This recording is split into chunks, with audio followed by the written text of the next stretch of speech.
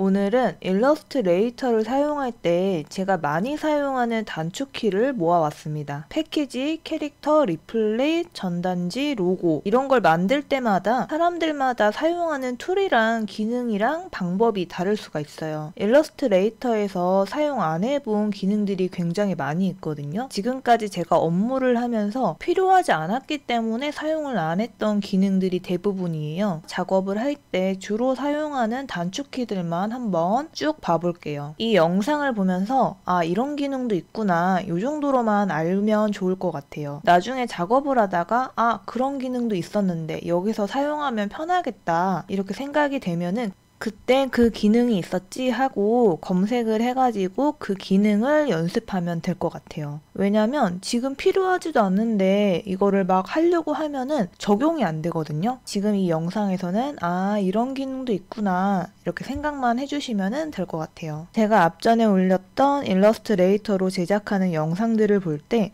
조금 더 도움이 될 것 같아요. 제 기준으로 가장 많이 사용하는 걸 모아놨기 때문에 사람마다 중요도가 다를 수 있으니까 그 점은 이해 부탁드릴게요. 그러면 작업을 시작해 볼게요. 참고로 저는 한국어판을 사용하고 있습니다. 컨트롤 R이라는 기능이 있는데 저는 이거를 포토샵에서도 많이 쓰고 뭐 프리미어에서도 많이 쓰고 일러스트레이터에서도 많이 쓰고 굉장히 많이 사용하는 단축키 중에 하나예요. 이게 굉장히 중요한 단축키인데 왜냐하면 smart guide를 사용할 수 있는 단축키거든요. 컨트롤 R을 누르면서 실행하고 해제하고 이렇게 작동을 할 수가 있거든요. 그러면 여기 눈금자가 생겨요. 이 눈금자가 생기는 걸 마우스를 가져가셔가지고 이렇게 끌어당겨 주시면은 smart guide를 내려줄 수가 있습니다. 내가 원하는 만큼 계속 만들어낼 수가 있어요. 이 왼쪽에서도 마찬가지로 이렇게 끌어오면은 smart guide를 계속 만들 수 있습니다. 자, 이렇게 smart guide를 설치를 할 수가 있고요. 이 눈금자에서 제가 또 많이 사용을 하는 게 오른쪽 버튼을 누르면은 이렇게 단위를 설정할 수가 있습니다. 저는 일러스트레이터로 스티커 작업도 많이 하고 인쇄물 작업을 많이 하기 때문에 주로 밀리미터로 설정이 되어 있는데 뭐 웹상으로 사용하는 이미지를 제작을 할 때는 픽셀로도 사용을 하고 그래서 이 눈금자에서 내가 원하는 단위로 설정을 할 수가 있습니다. 자, smart guide를 이렇게 설정을 했는데 smart guide도 여러 가지 기능이 있어요. 이 컨트롤하고 세미콜론을 누르게 되면은 smart guide가 사라졌다가 나타났다가 이렇게 설정을 해줄 수가 있습니다. 실제로 smart guide가 있는데 보이지 않도록 껐다가 켰다가 이렇게 해줄 수가 있는 기능입니다. 패키지나 스티커 같은 거를 제작할 때 smart guide를 많이 사용을 하는 경우에는 이 smart guide가 없는 정말 인쇄물 그대로의 이미지를 보고 싶을 때가 있거든요. 그럴 때는 컨트롤을 세미콜론을 눌러주면은 껐다 켰다 할 수가 있어요. 이렇게 smart guide랑 object랑 같이 겹쳐지는 경우에는 같이 드래그를 할 때 smart guide도 같이 선택이 되거든요. 어, 나는 이 글씨만 움직이고 싶은데 smart guide도 같이 움직이게 됩니다. 이러면 굉장히 불편하거든요. 그래서 이 smart guide를 움직이지 않게 잠금을 걸어주는 기능이 있어요. 그래서 컨트롤 Alt 세미콜론을 눌러주면은 이렇게 잠금이 걸립니다. 그래서 내가 원하는 object만 움직일 수 있어요. 이거는 굉장히 많이 쓰는 기능이니까 알아두면 좋을 것 같아요. 어, 일러스트레이터를 처음 사용을 할 때 이 도구 상자가 다 다르게 되어 있을 수 있어요. 그래서 이거를 기본으로 제공을 해주는 툴이 있는데 윈도우에 가셔서 작업 영역에 가셔서 필수 클래식으로 설정을 해주시면은 일단 기본적인 세팅 도구가 설정됩니다. 그래서 기본 세팅이 되어 있는 상황에서 내가 추가로 더 필요한 게 있으면은 윈도우에 가셔가지고 내가 필요로 하는 그런 설정 창을 눌러주시면 될 것 같아요. 일러스트레이터 작업을 할 때 주로 많이 사용하는 도구창은 모아놓거든요. 그 중에서 이 정렬이랑 align이라고 할 거예요 아마. 그 다음에 pathfinder, 다음 획, 이건 stroke라고 아마 되어 있을 거예요 영문판은. 그 다음에 문자, 이렇게 4개는 진짜 많이 사용을 하거든요. 그래서 이 4개는 저는 이렇게 모아놨어요. pathfinder, 문자, 획, 설정 이렇게 설정할 수 있게 꺼내놨고요. 다음에 layer는 포토샵에서는 layer를 굉장히 많이 사용을 하는 편인데 저는 개인적으로 일러스트레이터에서는 layer를 많이 사용을 하진 않거든요. 근데 이 layer의 특징을 보면은 패키지 도면 같은 거를 업체 쪽에서 받았을 경우에 그 도면을 움직이면 안 되거든요. 그 위에 내 디자인만 올려야 되기 때문에 그럴 때는 layer를 사용을 해주는 게 좋더라고요. 그래서 이 layer를 추가할 때마다 이렇게 설정창이 달라지거든요. 지금 파랑색이 제일 기본 설정창이고요. 그래서 이 파랑 색깔 layer에서 제작을 할 때는 다 이렇게 파랑 색깔 테두리로 설정이 됩니다. 연두 색깔 layer에서 사용을 하게 되면은 내가 만들어 놓은 object랑 이런 글 같은 게 다 연두색 외곽 라인을 가지게 돼요. 그래서 여기 앞에 있는 요 layer 색깔을 보고서 내가 이 layer를 어디에서 만들었나 요거를 체크를 할 수가 있습니다. 만약에 파랑 색깔에 업체 쪽으로 받은 도면이 있다. layer를 하나 추가하고 잠금을 걸어줍니다. 이 눈 앞에 네모 칸을 눌러주면 잠금이 걸리거든요. 이 아래 거는 이제 더 이상 움직이지 않고 수정되지 않길 원하는 이미지들을 넣어주고 하고 싶은 패키지 디자인은 이 빨강 색깔 layer에 넣어주시면은 이제 내 디자인만 움직일 수 있겠죠. 그런 식으로 할 때 저는 이 layer를 사용을 했고 특별하게 사용을 했던 기억은 거의 없는 것 같아요. layer는 주로 사용을 잘 하지는 않지만 지금 이렇게 패키지 같은 거 작업을 하실 때 다른 업체 쪽에서 작업을 했던 걸 받으실 때는 잠금을 걸어주는 기능을 사용을 해주면 좋을 것 같아요.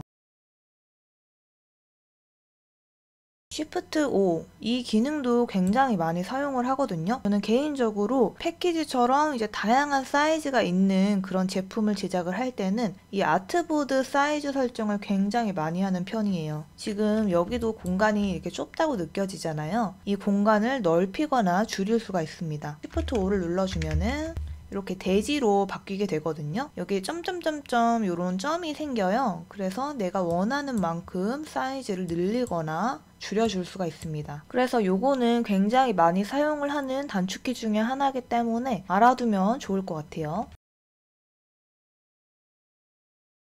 많이 사용을 하는 거는 방향키예요. 요거는 로고를 만들던지 아니면 뭐 패키지를 만들던지 그냥 일러스트레이터나 뭐 이런 모든 행동을 할 때 많이 사용을 하는 기능이라서 알아두면 좋을 것 같아요. 방향키로 한 번 누를 때마다 1픽셀씩 이동이 되는데 이게 너무 답답할 수가 있어요. 그러면은 Shift를 누른 채로 방향키를 눌러주면은 10픽셀씩 이동이 됩니다. 요거 같은 경우에는 같은 위치에 복사를 했다든지 같은 위치에 어떤 걸 만들어야 될 때 겹쳐져 있으면 잘 구별이 안 가잖아요. 그래서 이렇게 잠깐 옆으로 빼놨다가 다시 원래대로 이동시켜 줄 때 많이 사용을 합니다. 왜냐면 그냥 이렇게 이동을 시켰다가 다시 원래 위치로 되돌아가려면 힘들거든요. 방향키를 이용 해서 한 번만 이동시켜 줬다가 다시 방향키를 이동해서 되돌아가 주면은 원래 위치 그대로 갈 수 있기 때문에 방향키를 많이 사용합니다.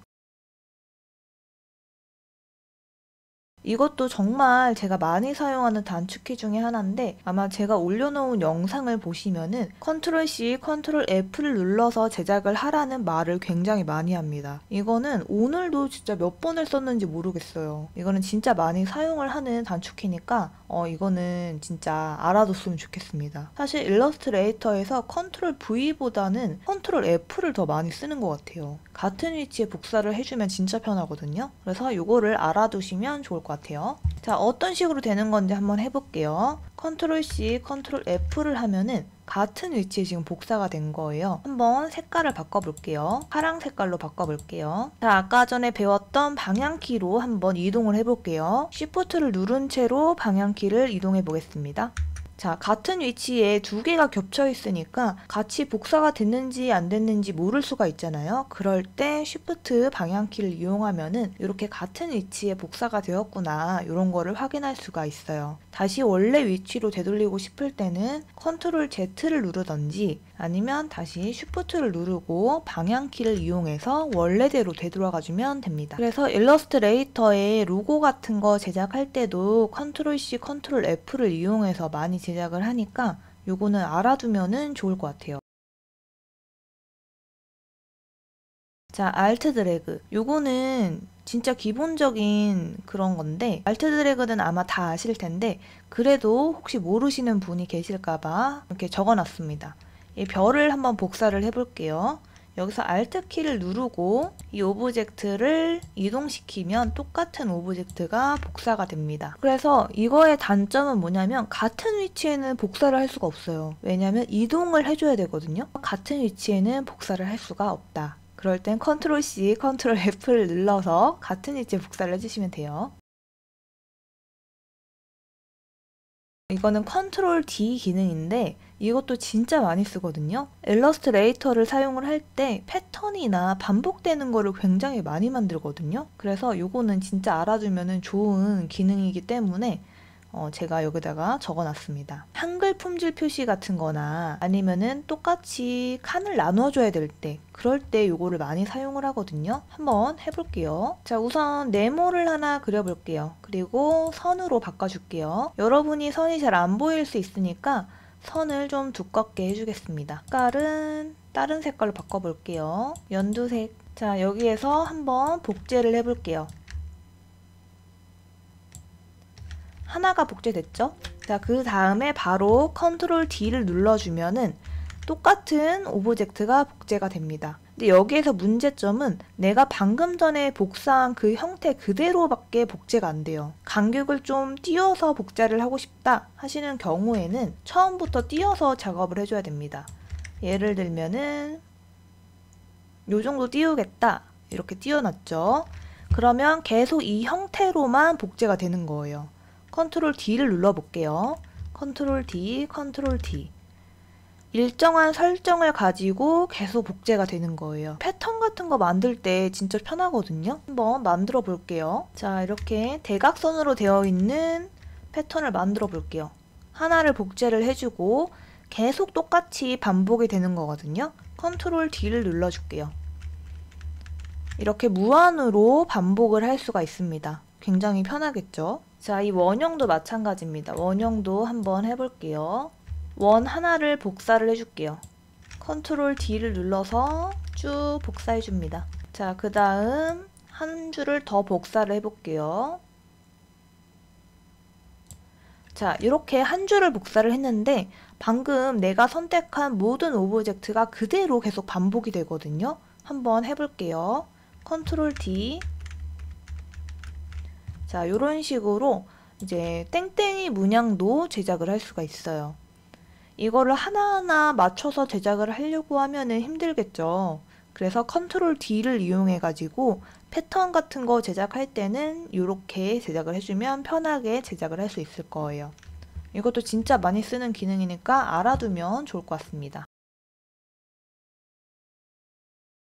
어, 이것도 진짜 많이 쓰는 기능 중에 하나인데 컨트롤 쉬프트 괄호를 눌러주는 거예요. 이 괄호는 왼쪽으로 되어 있는 괄호를 눌러주면 뒤로 가지고 오른쪽으로 되어 있는 괄호를 누르면 앞으로 가져요. 그런데 쉬프트를 누르면 맨 뒤 아니면 맨 앞 이렇게 두 개의 설정으로 바뀌게 됩니다. 이거는 진짜 많이 쓰는 기능이라서 알아두면 진짜 편하거든요. 진짜 이것도 꼭, 꼭 알아두시면 좋을 것 같아요. 자, 제가 여기 샘플 만들어 놓은 걸 한번 사용해 볼게요. 사각형을 만들어 주겠습니다. 제가 마지막에 이 object를 만들었죠. 한번 이동시켜 볼게요. 위치는 같은데 layer의 순서가 바뀌는 거예요. 그래서 컨트롤 괄호를 눌러 볼게요. 한 번 누르니까 object가 하나 뒤로 갔죠. 이렇게 누를 때마다 계속 줄어듭니다. 맨 뒤로 가졌어요. 다시 반대로 하나씩 앞으로 옮겨 볼게요.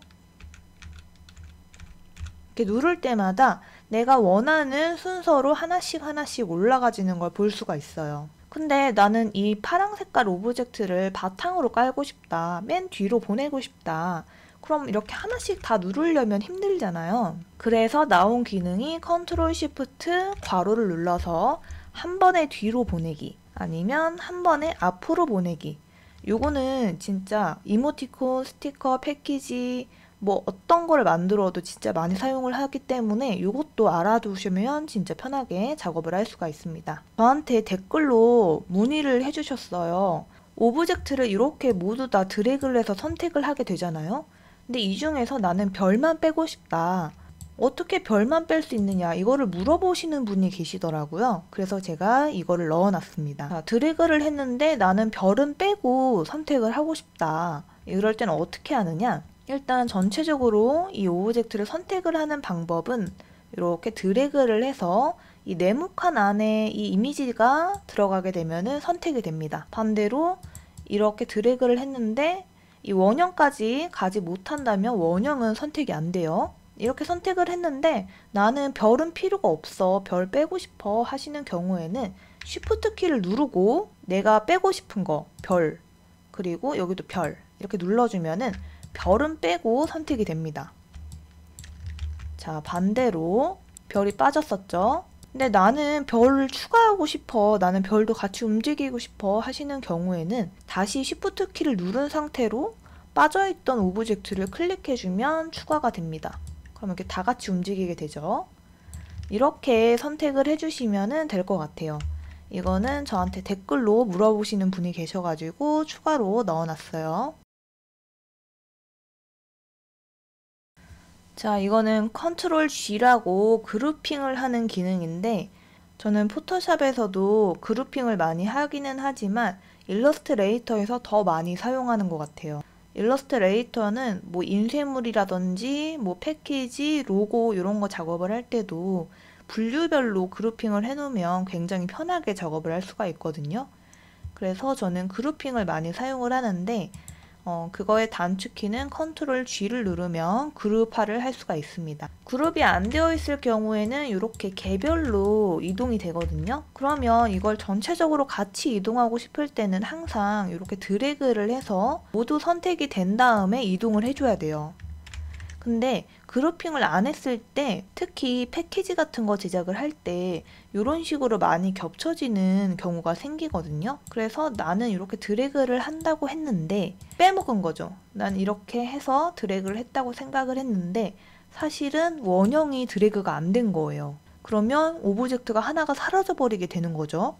이게 예를 들어 패키지의 설명 내용이었다. 이러면 인쇄를 해버렸기 때문에 이런 불상사가 생기는 경우에는 이제 수백 장의 인쇄물을 다시 폐기를 해야 되는 그런 상황이 생길 수 있거든요. 그래서 항상 그룹핑을 해주는 게 좋습니다. 방금처럼 나는 원까지 다 드래그해서 이동했다고 생각을 했는데 원은 빠져 있었던 거죠. 정말 무섭지 않나요? 자, 컨트롤 G를 눌러서 그룹핑을 하신 다음에 이렇게 아무 데나 눌러도 이 그룹이 되어 있기 때문에 빠져나오지 않죠.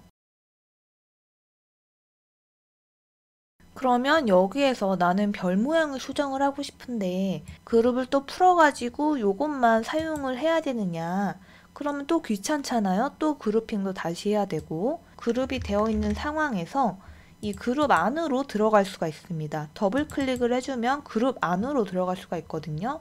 자 여기 왼쪽에 요 그룹을 보면은 어, 그룹 안으로 들어와져 있어요. 이런 표시가 되어 있어요. 자, 이 그룹 안에서는 개별적으로 수정을 할 수가 있습니다. 어, 한번 별을 수정해 볼게요. 자, 이런 식으로 나는 동글동글한 별로 만들어야겠어 하고 이 별만 수정을 해줄게요.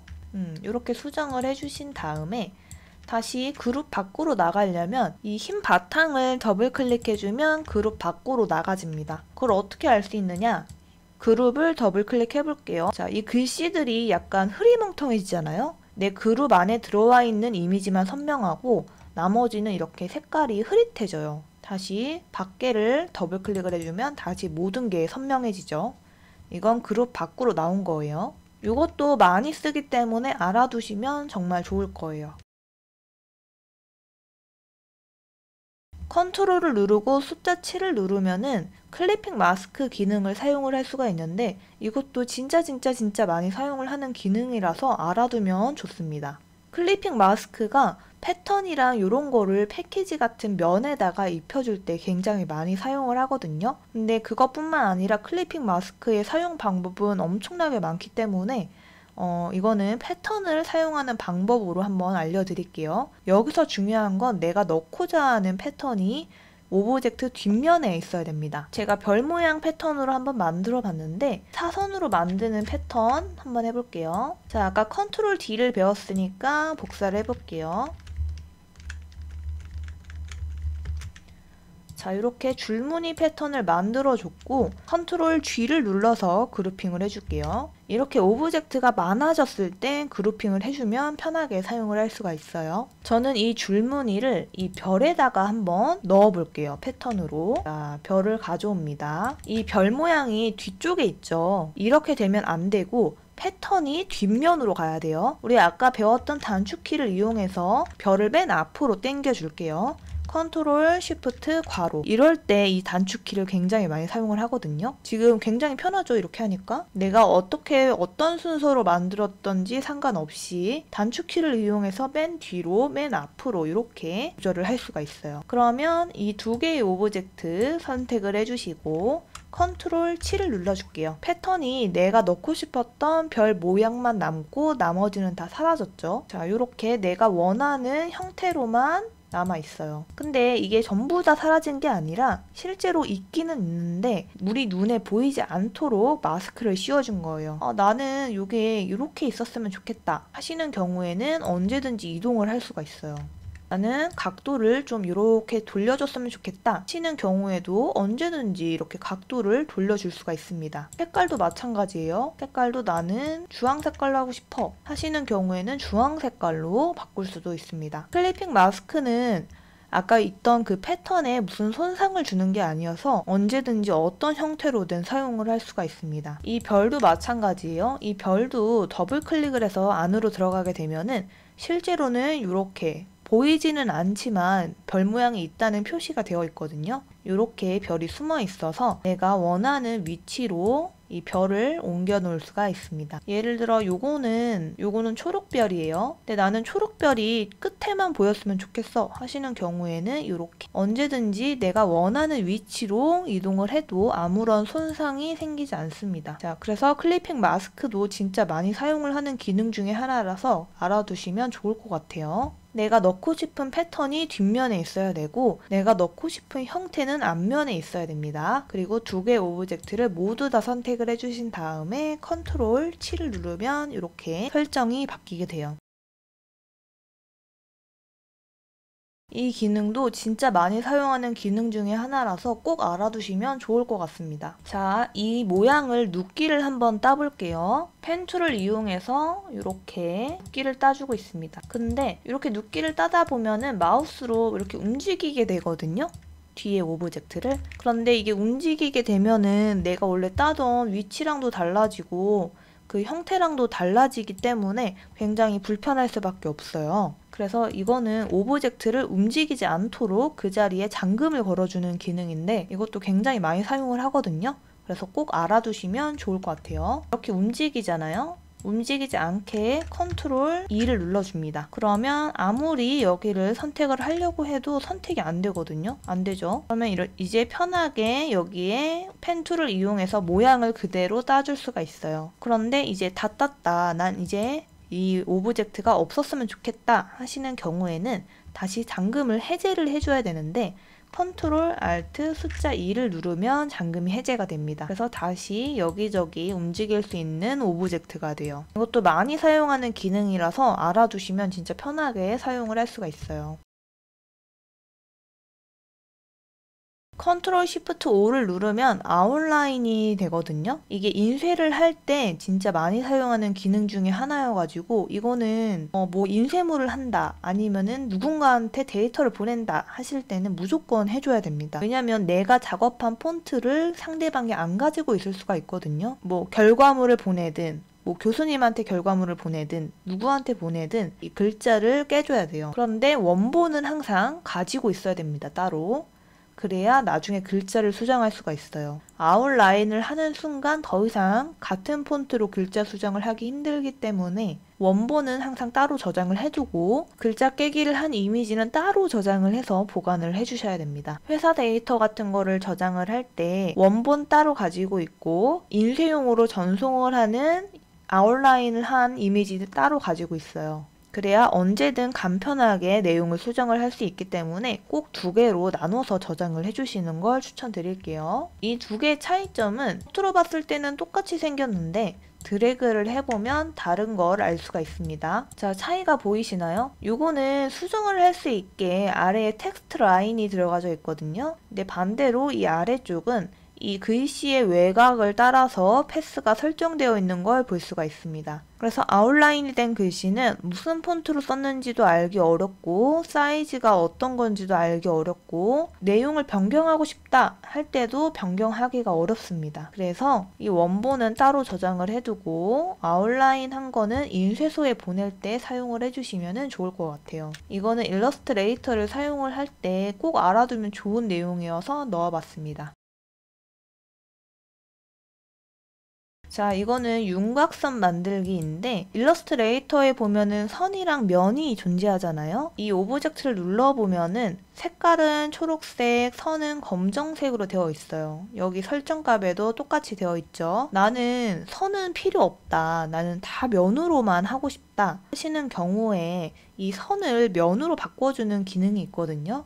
그게 윤곽선. object에 들어가셔가지고 path에 들어가셔가지고 윤곽선을 눌러주면은 선으로 작업이 되어 있는 게 다 면으로 바뀌게 됩니다. 이 기능이 왜 필요해 이렇게 하시는 경우도 있는데 작업을 하다 보면은 이 기능이 굉장히 많이 사용이 되거든요. 그래서 알아두셨으면 좋을 것 같아가지고 제가 추가를 해봤습니다. 그래서 보시면은 선으로 되어 있을 때는 하나의 object로 같이 움직이잖아요. 이걸 한번 복사를 해볼게요. object를 눌러주고 path를 눌러주고 윤곽선을 눌러줄게요. 그리고 grouping이 되어 있기 때문에 그룹 해제를 해줍니다. 이동을 시켜볼게요. 이렇게 선과 면이 따로 분리가 되는 걸 볼 수가 있어요. 여기 위에서는 이 검정 색깔이 선이었는데 윤곽선을 해줬기 때문에 이것도 면으로 바뀌어져 있는 걸 볼 수가 있습니다. 이거는 뭐 일러스트레이터, 뭐 캐릭터 같은 거 작업을 할 때도 이 기능을 많이 쓰기 때문에 알아두시면 좋을 것 같아요.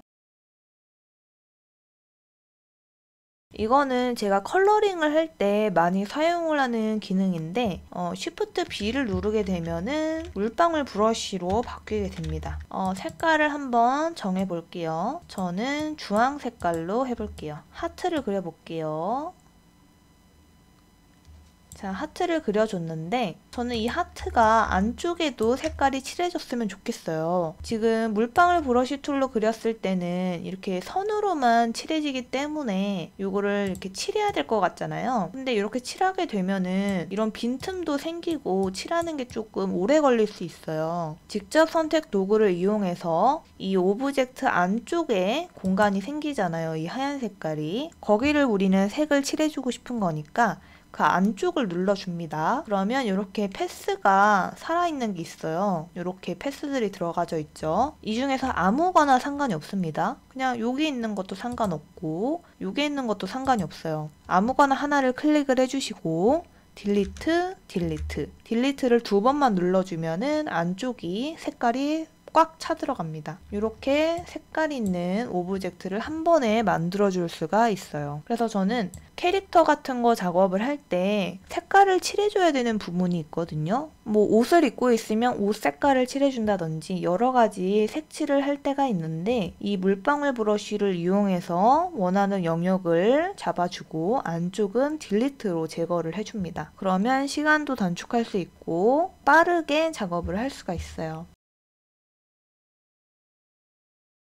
로고 같은 거 만들 때도 사용을 하기 때문에 넣어봤습니다. 자, 일단 이 별 자체는 별을 그려주면 하나의 object예요. 완벽하게 빈틈이 없는 object인데 이 중에서 나는 여기를 분리를 해주고 싶다 하시는 경우가 있을 수 있거든요. 생각을 해보면 그런 경우가 왜 필요하겠어? 이렇게 생각을 하실 수도 있는데 이걸 작업을 하다 보면은 이렇게 열어줘야 될 때가 있어요. 그 열어주는 방법은 object를 내가 열어주고 싶은 부분에 직접 선택 도구를 선택을 하고 내가 열어주고 싶은 꼭지점 하나를 선택을 해주시고 이 위에 보면은 가위 모양으로 되어 있는 게 있거든요. 딱 봐도 뭔가 잘릴 것 같은 느낌으로 만들어져 있는데 이걸 눌러주면은 끝에가 끊겼죠? 여기 뾰족한 부분이 사라졌어요. 자, 이렇게 이동을 시켜볼게요. 내가 원하는 위치로 이동을 시킬 수가 있습니다. 여기가 열려져 있어요. 근데 이거를 이 상태로 다시 이어주고 싶다 하시는 경우에는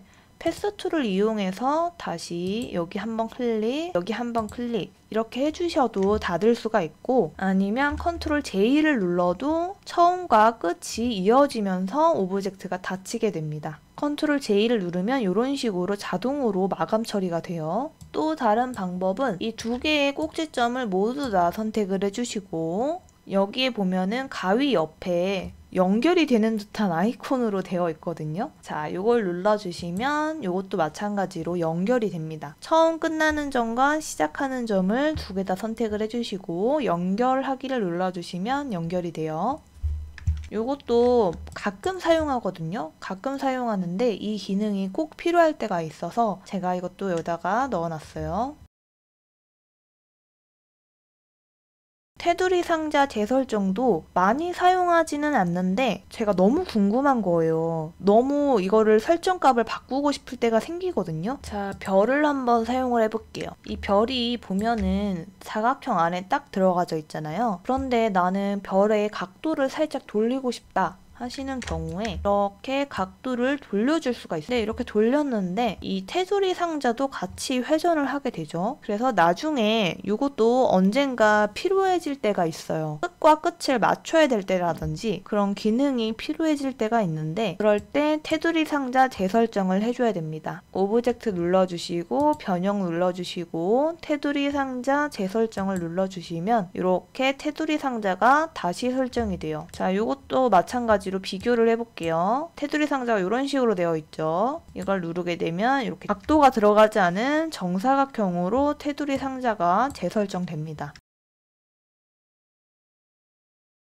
망으로 둘러싸기도 많이 사용을 하지는 않지만 가끔 필요해질 때가 있거든요. 아니면은 뭐 과자 봉투에 글자가 round하게 들어갔으면 좋겠다든지 이런 샘플 같은 거 제작을 할 때 라운드를 넣어줘야 될 때가 있거든요. 그럴 때 사용을 하면 좋습니다. 포토샵의 경우는 컨트롤 T를 누르면 자유 변형이 가능한데 일러스트레이터는 그게 조금 잘 안 되더라고요. 그래서 저는 망 둘러싸기 기능으로 사용을 합니다. 자, 여기 글씨가 있죠. 이 글씨를 object 눌러주시고 둘러싸기 왜곡을 가셔가지고 망으로 만들기를 눌러줄게요. 자 그러면 이렇게 망을 몇 개를 만들 거냐 이런 질문이 들어오는데 저는 그냥 3개, 3개로 할게요. 이거는 뭐 어떻게 만들고 싶은지에 따라서 조절을 해주시면 될 것 같아요. 자 그럼 이렇게 라인이 생기거든요. 그래서 내가 원하는 대로 이 글씨에 곡선을 넣어줄 수가 있습니다. 예를 들면 뭐 이런 느낌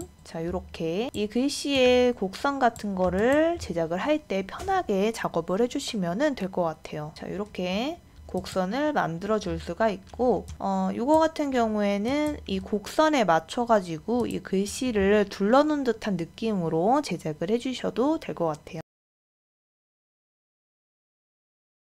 이것도 진짜 많이 사용을 하는 기능이거든요. 특히 스티커 같은 거 제작을 할 때 저는 이거를 진짜 많이 사용을 합니다. 그래서 꼭 알아두시면 좋을 것 같아요. 일단 별을 봐볼게요. 이 겉에 흰 색깔 테두리를 남기고 싶다 하시는 경우가 있을 수 있거든요. 예를 들면 스티커 작업을 하거나 패키지 작업을 할 때도 많이 사용이 됩니다. 이런 원형 같은 거 할 때는 상관이 없어요.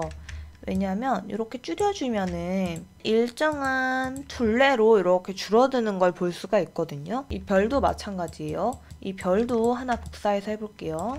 내가 원하는 대로 일정한 테두리가 남게 되죠. 문제는 이런 좌우 대칭이 다 똑같은 도형이 아니라 스티커를 한번 생각을 해볼게요. 스티커가 다 별만 있고 동그라미만 있고 이러지 않잖아요. 여러 가지 다양한 모양으로 제작이 되는 스티커들을 한번 생각을 해보면 이렇게 생긴 모양으로 된 스티커를 만들었어요. 그러면 이것도 한번 줄여볼게요.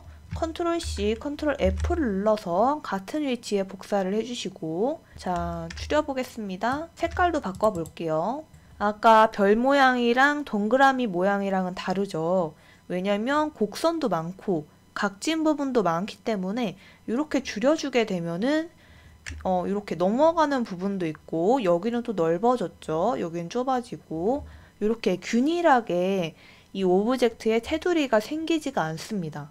이럴 때가 문제인 거예요. 요런 스티커 모양을 제작을 하실 때는 요렇게 줄이면 안 돼요. 딱 봐도 안 될 것 같은 느낌이 들죠? 이렇게 해주면 안 됩니다. 자, 요렇게 형태가 만들어져야 똑바로 된 스티커가 되겠죠. 요걸 하는 방법을 한번 알려드릴게요. object를 선택을 해주시고 object path 이동으로 갈게요. 그러면 path 이동 설정 창이 뜹니다. 그리고 미리 보기 체크가 안 되어 있으면 미리 보기를 체크를 해주시고 원래는 이런 이미지였는데 이렇게 테두리를 만들어 주겠다 하시는 거예요. 자 그러면 object가 이렇게 늘어난 거를 볼 수가 있어요. 이것도 색깔을 바꿔 볼게요. 자 이렇게 연두 색깔 테두리가 일정하게 생기는 걸 볼 수가 있습니다. 그리고 라인을 넣어주면 되겠죠. 빨강 색깔로 넣어 볼게요. 이런 식으로 이미지를 커팅할 수 있게 제작을 해주시면 될 것 같습니다. 이게 원근감 격자 도구라는 게 있는데 이 포토샵으로 작업을 하다 보면은 내가 뭘 눌렀는지는 모르겠는데 갑자기 저런 이상한 도형이 뜰 때가 있어요. 근데 아무리 끌려고 해도 저게 꺼지지가 않습니다. 왜냐면 내가 의도를 가지고 저걸 연 게 아니기 때문에 뭘 눌렀는지를 모르는 거예요.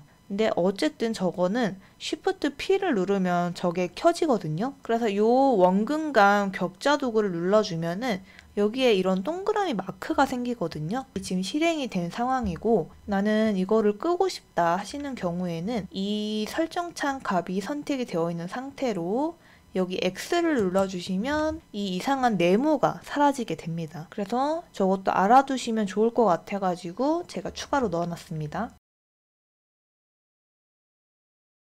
이것도 인쇄를 할 때 많이 사용을 하는데 컨트롤 알트 P를 눌러주면 문서 설정 창이 떠요. 그 중에서 제가 설명을 해주고 싶은 거는 돌연이라는 기능인데 인쇄를 할 때 예를 들어 전단지나 브러쉬와 같은 인쇄물을 만들 때 저렇게 돌연을 한 5mm 아니면 3mm 같은 설정을 해주면 어, 넘어가게 작업을 해야 되거든요 인쇄물은 그래서 그 정도 여백을 잡아줄 수 있도록 돌연을 설정을 해서 편하게 작업을 해주시면 될 것 같아요 그냥 이런 기능이 있다 이렇게 알고만 계셔도 나중에 언젠가 필요해 만들어질 때, 아, 그런 기능이 있었지? 이렇게 하면서 검색을 해보면 되거든요. 패키지 같은 거 제작을 할 때 인쇄물 어떻게 뽑는지를 많이 물어보시거든요. 저도 항상 뭐 패키지나 스티커나 인쇄물 같은 거 제작을 할 때는 실제 사이즈로 미리 샘플을 뽑아보고 사이즈나 뭐 오타나 이런 문제가 없는지 확인을 해보고 실제 자료를 넘깁니다. 그래서 이거 설정을 할 때 인쇄로 들어가시면은 비율 조정이라는 게 있는데 예를 들면 A4 용지에 맞춰가지고 내용을 다 비율을 조절 을 해서 작게 만들어가지고 뽑아주겠다. 이런 거거든요. 근데 우리는 실제 사이즈를 보고 싶은 거니까 비율 조정을 안 함을 선택을 해주시고 인쇄를 해주셔야 됩니다. 그래야 내가 선택한 사이즈 그대로 인쇄를 할 수가 있어요.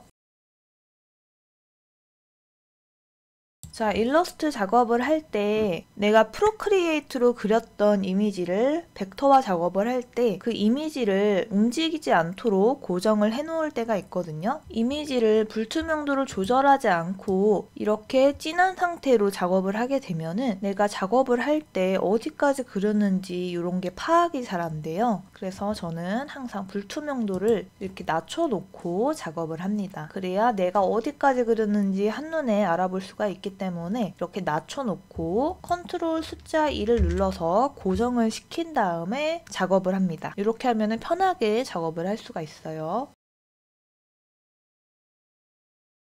제가 이렇게 꽃을 하나 그려놨는데 이 그림을 하나 그리고 이 꽃을 라인 드로잉이랑 coloring을 동시에 했는데 어떻게 했는지 한번 볼게요. 우선 라인을 그려주면은 이렇게 뾰족하게 제작이 됩니다. 근데 저처럼 동글동글하게 제작을 하고 싶다. 획에 가셔가지고 단면이랑 모퉁이를 두 번째 걸로 선택을 해주시면 동글동글하게 처리가 돼요. 저는 주로 동글동글하게 처리를 하기 때문에 항상 이렇게 두 개를 설정을 해놓고 작업을 합니다. 이거는 취향에 따라서 설정을 해주시면 될 것 같아요. 자, 이게 컬러를 입히는데 두 가지 방법이 있는데 내가 라인을 먼저 그릴 건지 아니면 면을 먼저 그릴 건지 요거를 선택을 해주시면 되고 저는 선을 먼저 그리겠다 하시는 경우에는 선을 하나 그려줬죠. 같은 위치에 복사를 해줄게요. 제가 같은 위치에 복사를 해놓으면 비교가 안 되기 때문에 이렇게 옆으로 살짝 삐껴놨습니다. 같은 위치에 두 개를 복사를 해주시고 지금 선이었는데 이걸 면으로 바꿔줬죠. 그러면 선이 얇아지는 걸 볼 수가 있어요. 이게 얇아진 게 아니라 면이 생겨가지고 윗면으로 올라와서 그렇거든요. 한 칸 뒤로 단축키를 눌러가지고 색깔 면이 한 칸만 뒤로 가서 선이 다시 두꺼워 보일 수 있도록 설정을 해주시면 될 것 같아요. 항상 모든 작업이 끝나면 드래그를 해서 컨트롤 G를 눌러가지고 그룹핑을 해주셔야 됩니다. 안 그러면 어, 막 이렇게 분리가 될 수가 있거든요. 이런 사태가 일어나지 않도록 그룹핑을 꼭 해주세요. 나는 면을 먼저 그리겠다 하시는 경우에는 면도 하나를 그려주고 컨트롤 C, 컨트롤 F를 눌러서 같은 위치에 복사를 해주세요. 그 다음 object 하나를 선으로 변경을 해줍니다. 아까보다 순서가 하나 줄었죠. 그냥 자동으로 맨 뒤로 깔려지기 때문에 그냥 선으로만 변경을 해주시면 될 것 같아요. 이것도 마찬가지로 마지막에는 grouping을 해주시면 될 것 같습니다. 이거는 제가 많이 사용하는 기능 중에 하나인데 이렇게 패스로 그 그림의 형태를 따게 되면은 이 곡선이 자연스럽게 끝나지 않는 경우가 많아요. 그럴 때는 연필 도구를 사용을 해보도록 할게요. 자, 요 형태를 눌러주면은 여러 가지 도구가 나오는데 저는 여기에서 매끄럽게 도구를 사용할게요. 여기가 약간 각진 것 같은 느낌이 드는데 부드럽게 바꿔볼게요. 이 부분을 이렇게 마우스로 드래그를 계속 해주시면은 좀 깎여나가는 느낌이라고 해야 될까요? 여기가 자연스럽게 곡 곡선이 될 수 있도록 수정이 됩니다. 내가 패스툴로 이 라인을 땄는데 너무 각지고 예쁘게 나오지 않는다 이렇게 해서 계속 컨트롤 Z를 눌러가지고 다시 만드시지 마시고 일단 형태를 만들어 놓고 이렇게 매끄럽게 하기 도구를 이용해 가지고 부드럽게 연결을 시켜 주시면 될 것 같아요. 이거는 정렬을 할 때 사용을 하는 기능인데 이게 필요해? 이렇게 생각을 할 수도 있어요. 자, 이게 샘플 이미지였는데 제가 이 작업을 오늘 하면서 이 기능을 사용을 했는데 굉장히 편하더라고요. 요 object를 여 끝에 이렇게 맞춰주고 싶거든요. object 두 개를 선택을 해주시고 내가 중심을 잡고 싶은 object 메인 기준점이 되는 object를 Alt키를 누르면서 한 번 더 클릭을 해줍니다. 그러면 이렇게 파랑 색깔 진한 라인이 생기게 되거든요. 그럼 이게 기준점이 되는 object가 된 거예요. 오른쪽 맞춤을 눌러주면은 오른쪽으로 이 기준이 된 object는 움직이지 않아요. 이것만 이렇게 움직여가지고 배치가 되거든요. 그래서 내가 원하는 위치에 바로 옮겨 놓을 수가 있습니다.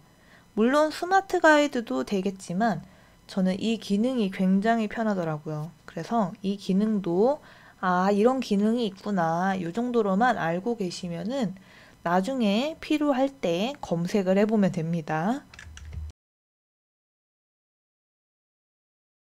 여러 가지 기능들을 한번 모아봤는데 편하게 보시고 제가 올려놓은 영상을 보실 때도 아, 이렇게 단축키를 사용을 했구나 알고 계시면 좋을 것 같아요. 제가 일러스트레이터에서 많이 사용했던 기능이랑 단축키랑 사용 방법 같은 걸 모아놨으니까 도움이 되셨으면 좋겠습니다. 그럼 저는 여기까지 할게요.